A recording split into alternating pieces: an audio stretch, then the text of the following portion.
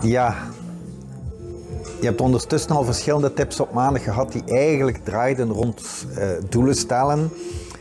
Um, iedere mens heeft eigenlijk wel nood aan een doel. Hoe kan je nu dagelijks weten dat je de juiste beslissingen neemt als je niet weet wat, wat het doel is dat je nastreeft?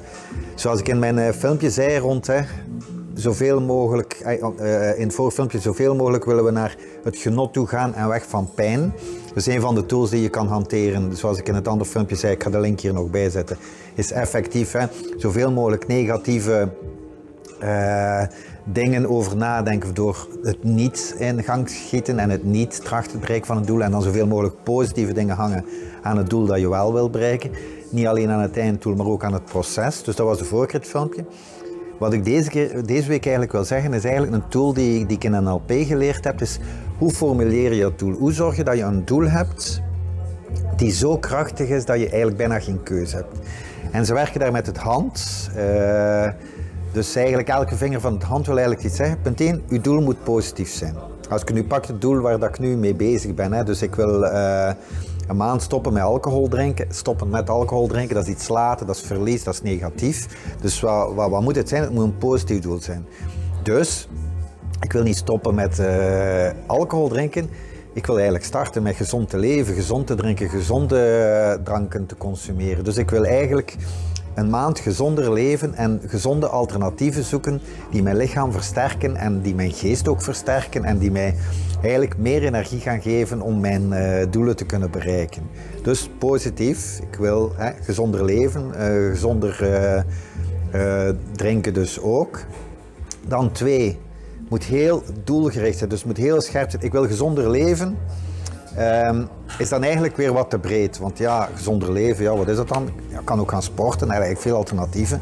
Uh, dus hoe concreet één specifiek ding wat ik me nu op ga focussen. Dus ik wil elke dag een gezond uh, experimenteren met een gezond alternatief uh, van drank waar dat ik evenveel plezier van heb.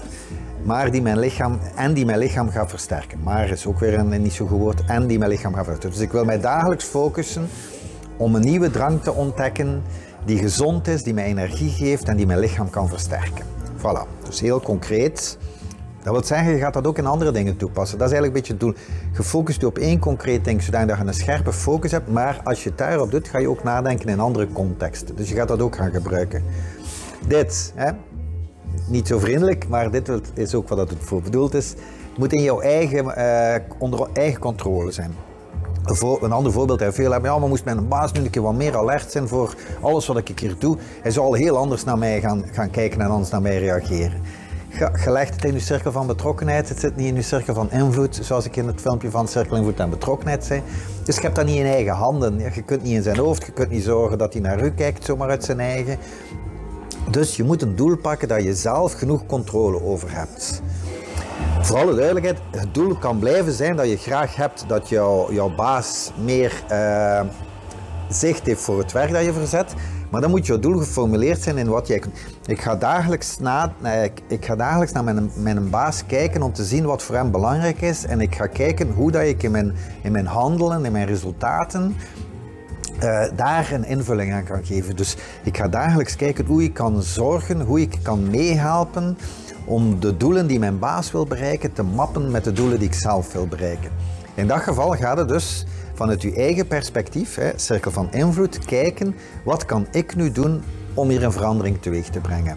Hetzelfde doel, maar je kijkt vanuit je eigen perspectief. Dus in het geval van uh, gezonder, uh, elke dag wil ik mij focussen om een gezond alternatief te vinden, een gezonde drank te vinden die mij, die mij smaakt, die mij energie geeft, en die mijn gezin, uh, die mijn, uh, mijn lichaam voedt en maar waar dat ik ook plezier aan kan beleven. Dus dat is een positief doel, dat heb ik volledig in eigen handen. het kan misschien zijn dat ik mij wel moet organiseren naar hoe ik aan, het, aan de, de grondstof kan geraken. Maar goed, dat heb ik eigenlijk ook in eigen handen. Dus in eigen handen. Dit is een hele belangrijke die in veel tools van doelen niet zit. Het moet ecologisch zijn. Het is dan toevallig ook nog de, de vinger waar mijn ring aan hangt. Dus ja, het is de ringvinger, maar hangt ook effectief een ring. Als je een doel stelt, moet je ook op dat moment heel goed nadenken. Eh, in hoeverre gaat mijn doel mijn omgeving schaden? Als ik bijvoorbeeld zou zeggen, ja, ik wil een wereldreis maken. Ik wil de wereld rond, ik laat alles achter mij. Ik wil ontdekken, ik wil nieuwe dingen zien. Ja, goed. Maar misschien zijn je getrouwd, heb je kinderen, heb je familie, zijn uw ouders al oud. Wat doet dat doel met de rest en in hoeverre wil je dat doel nog altijd behalen, rekening houden met de impact die het gaat hebben op de andere mensen. En dat is het ecologische. Op anderen en op jouzelf. Dus je moet eigenlijk ecologisch ook nadenken in, in relatie met jezelf en in relatie met je omgeving.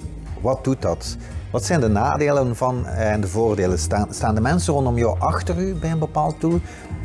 Dan is de kans veel groter dat je dat doel gaat bereiken dan dat alle mensen rond u daar echt wel negatief tegenover gaan staan. Dus hoe ecologischer dat je je doel krijgt voor je omgeving, ja, hoe beter dat het is. Want dan ga je ook hè, uh, mensen hebben die jou gaan steunen in, in het doel dat je wil bereiken. Dus je kan de wereldreis misschien samen met gezin doen. Je kan kijken hoe dat je contact dan met uh, de rest van de familie kunt behouden.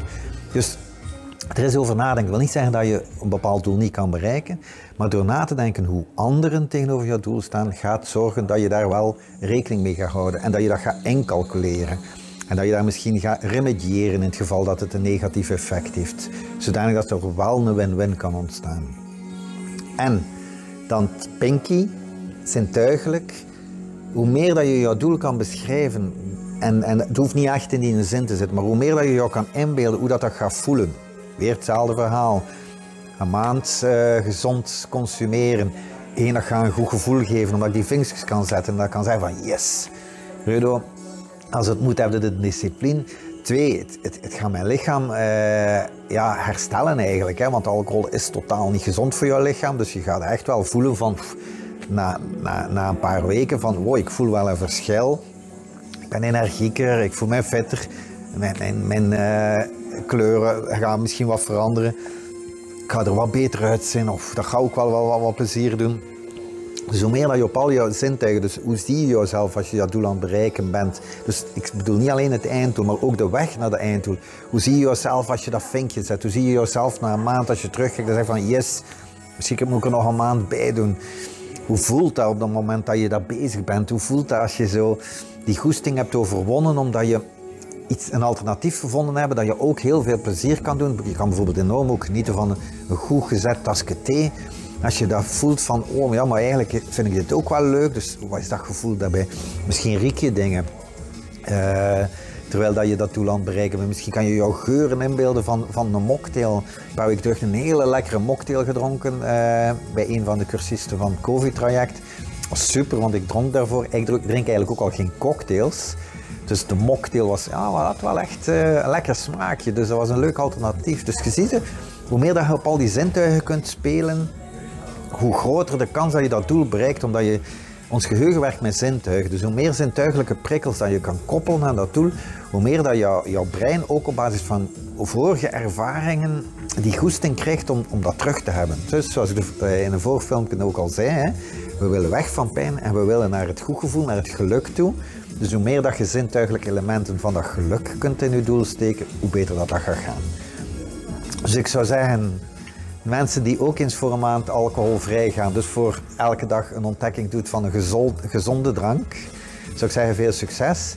Voor gelijk welk doel, eh, pas deze vijf regels te doen. Hè. Ik moet wat opletten met mijn hand, want normaal schiet de camera dan aan en uit, maar gelukkig staat dat vinkje blijkbaar niet aan. Dus denk eraan, hè. positief. Hoe specifieker, hoe beter. Ecolo eh, je moet het in eigen handen hebben ecologisch, hè? wat doet het met de anderen en de vijf zintuigen. Als je die allemaal samen in jouw doel gaat brengen, dan zeg ik u, de kans dat je jouw doel gaat bereiken is een heel stuk groter. Voor mensen die zeggen van, het is eigenlijk, ja, ik heb te veel doelen, het is te complex en die hoogbehaafdheid, dat speelt er ook nog een keer enorm in. Dus de puzzel is te ingewikkeld om te leggen. Als je vandaag die nood voelt en je wilt samen met andere hoogbehaafden die connectie maken, en voelen hoe die struggles bij, bij ons snelle denker nog net iets groter is omdat je heel veel prikkels in je opneemt, dan zou ik zeggen, kijk dan zeker naar de site voor het groepstraject. Want daar doen we niet alleen dit, maar daar doen we, oh, gaan we één per één al die, ah, één per één eigenlijk niet waar, gaan we veel van die puzzelstukjes gaan verleggen en gaan we zoeken naar effectief uh, heel scherpe lange termijn doelen waar we vanaf vandaag van kunnen gaan genieten. Dus ik zou zeggen, Veel succes met jouw doel voor de komende maand. En misschien zien we elkaar of in het volgende filmpje of in een van onze trajecten. Bye.